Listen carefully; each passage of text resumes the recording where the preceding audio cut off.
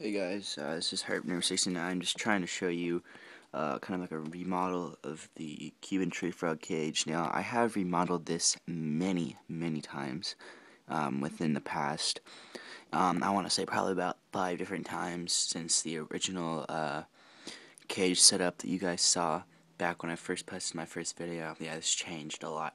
Um, well, anyways, this, uh, the, the, the tree branch I had in here, I changed it out a couple times. Um, it it kept like I I boiled water and did all that stuff, and I did some other stuff too that I looked up online how to treat it, but it, somehow the shit kept on molding. So I ended up just changing the substrate, washed all the plants off, and stuck it out. But this cork bark never molded.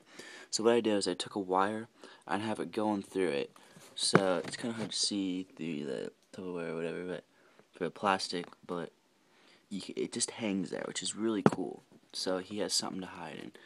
I don't know if he's in there. He's not, so I can take this off. But,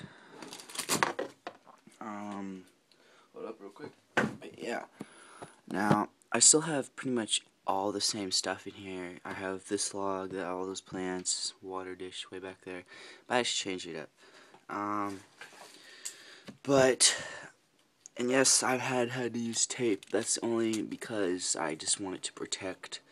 There's uh, metal right here on these uh, this ficus. There's kind of metal, and I don't want it to poke him. And this is a some sort of ivy vine. Let's see if we can find this. Oh, he's right here, actually.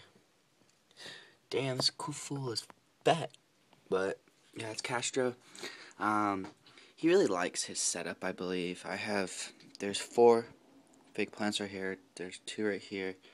Um, there's two different kind of fake plants right here. There's two right here. And then there's one like this, but it's smaller. And so I get to it. Y'all can see that. Yeah, like right there. That's like a smaller version of this, just plastic. Um, I believe it was like a fish ornament or something. It in. That's a fish ornament too. And I believe they sell um, like suction cup plants like this, but like bamboo. I want to have a bamboo right here, so that'd be cool.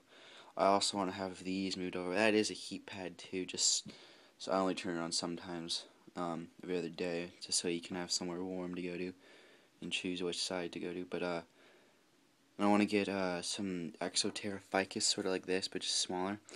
And I'm gonna have these moved over, and then I'm gonna have it just go like right here. Um, but yeah, that's just kind of a quick update on his. I believe, yeah, this is going to be um, for this cage. As long as I have this cage set up, like this cage, like the Rubbermaid container, this will be his permanent setup. Just letting you guys know. But um, I also put the water dish way back here so that he hasn't feels more secluded, like as as like it's a forest in there. Uh, I still have that rock holding all that stuff. Um, but yeah, questions, comments, subscribe, and I will always be making new videos. There never will be a time where I'm not making new videos. Um, I'm also, hopefully, I might make some, I might go to my grandma's house and make a herping video. Um, also, this summer, I know a place where they have numerous, numerous, numerous amounts of tree frogs.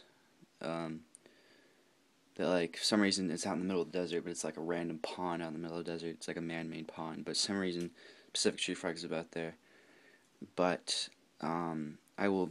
I'm gonna be growing those up and repopulating because our Pacific tree frogs out here just not enough. I think it's because predators and whatnot. But I will be getting a bigger population of that native frog to this area out here again. But um, yeah, questions, comment, subscribe, um, and yeah, peace.